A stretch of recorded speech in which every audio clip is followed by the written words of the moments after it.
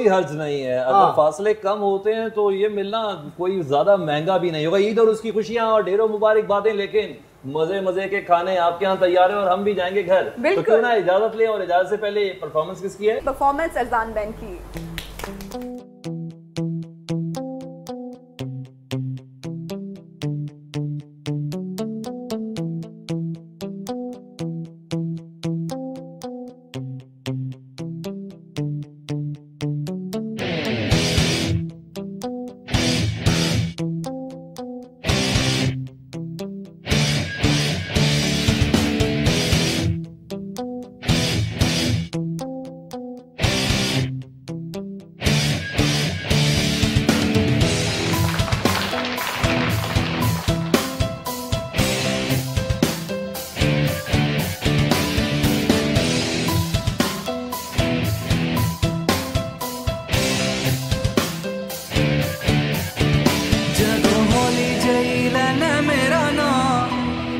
जदों होली जैलन में